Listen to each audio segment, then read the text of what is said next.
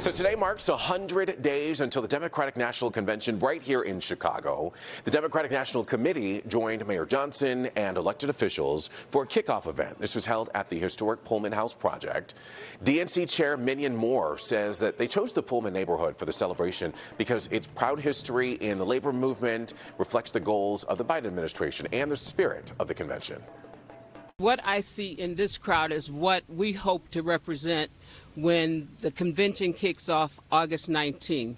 I see young people, I see old people, I see diversity, and that is the spirit of the Democratic National Committee.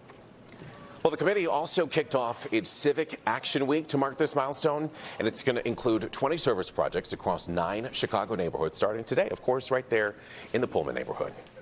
Well, May is Asian American and Pacific Islander Heritage Month. This month, one organization is actually sharing more about the Asian culture while also addressing disparities when it comes to health care. NBC 5's V Nguyen is in Chinatown to show us how.